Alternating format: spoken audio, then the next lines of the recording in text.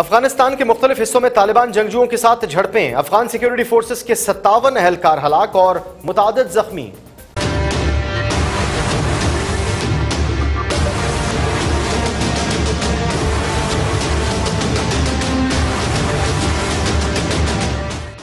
गैर मुल्की खबर एजेंसी के मुताबिक कतर में अफगान हुकूमत और तालिबान के दरमियान एक हफ़्ते कबल मुजाकर के आगाज़ के बाद ये सबसे ज़्यादा पुरतशद दिन था।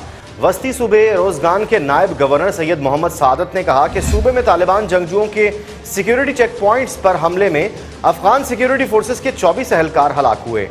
इसी तरह सूबाई हुकाम ने बताया कि बगलान, तखार, हेलमंद, कापीसा, बल्ख, मैदान विरदिक और कुंदूज सूबों में झड़पें हुई और वहाँ भी जानी नुकसान हुआ।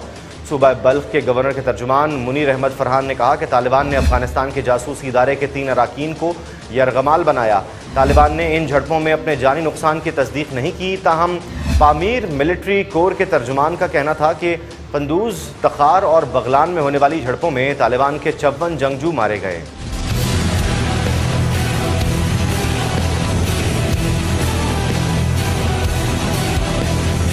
मैदान वर्दिक के हकूमती तर्जुमान मुहिबुल्ला शरीफ जई ने कहा कि सूबे में झड़पों में 26 जंगजू हलाक हुए।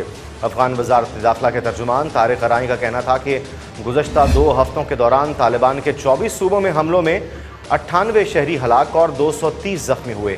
हफ़्ते को शुमाल मशरकी सूबे कुंदूज में तालिबान के अड्डे पर फजाई हमले में बारह शहरी हलाक हुए।